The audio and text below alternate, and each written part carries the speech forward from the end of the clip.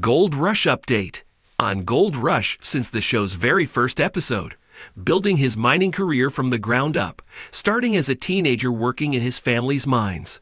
Parker has spent years uncovering more than just gold beneath the rugged terrain of Alaska. The longer he's been digging, the more incredible discoveries he's made, and some of those finds have been truly surprising. Mining isn't just about striking gold. There's no telling what might be hidden beneath layers of soil and rock at a dig site. Parker and his team have encountered some unexpected treasures while excavating. In fact, Parker once unearthed something that many people only dream of finding. A well-preserved set of woolly mammoth tusks perfectly hidden away in the permafrost. During an interview, Parker shared his excitement over the rare discovery.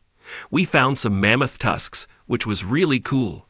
They're preserved because they're ivory and they were buried in the permafrost.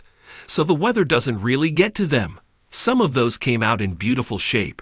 This discovery of mammoth tusks is not just an incredible archaeological find, it's a rare glimpse into Earth's ancient past woolly mammoths, which roamed the Earth during the Ice Age, began going extinct around 14,000 to 10,000 years ago.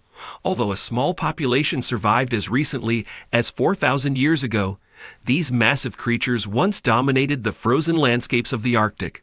But as the climate changed, so did their fate. However, due to the unique preservation conditions in places like Alaska and Siberia, their remains, especially tusks, have been found in remarkable condition, allowing us to still uncover pieces of their story today.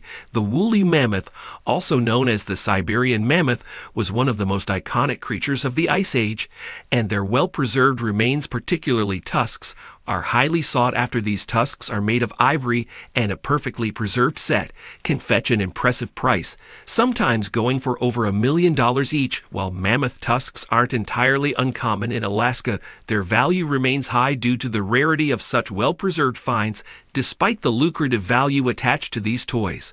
Parker Schnabel has chosen not to sell them in the world of mining, where gold is king. You might expect such a rare find to be cashed in, but Parker had other plans. I usually keep them. He admitted you're allowed to sell them, but you need a couple of permits to export them out of the territory. I think they're so cool I had to keep them for Parker. The tusks represent more than just a financial windfall. They're a piece of history, something that connects him to the past in a way that gold simply doesn't. For those unfamiliar with the process, selling mammoth tusks isn't as simple as finding them and cashing in the sale of such rare ivory requires several permits and approvals, especially when exporting them out of Alaska. These regulations ensure that the remains of such ancient creatures are handled responsibly.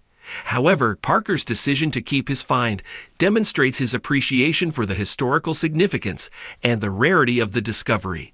It's easy to see why Parker would choose to keep such a unique treasure with the success of his gold mining operations. Parker doesn't need to rely on selling rare finds like mammoth tusks. Instead, he can enjoy owning a piece of natural history that not many people can claim to possess. Owning a set of well-preserved mammoth tusks is a bragging right few can top, and it surely sparks curiosity and conversation among guests. Mining has a way of uncovering more than what's expected, and Parker Schnabel's career is proof that while gold may be the ultimate goal, it's the unexpected discoveries along the way that make the journey memorable. Musks, for instance, are a reminder of a world long gone, buried beneath the Earth's surface, waiting for someone like Parker to unearth them and bring them back into the light. Interestingly, the discovery of mammoth remains has even led scientists to consider genetic resurrection with some researchers attempting to bring the woolly mammoth back to life using surviving DNA until that becomes a reality. Well-preserved fossils and tusks are the closest we can get to experiencing these majestic creatures. For Parker, the mammoth tusks are just one of the many highlights in his successful mining career. As he continues to mine for gold on Gold Rush, it's clear that his journey is far from over.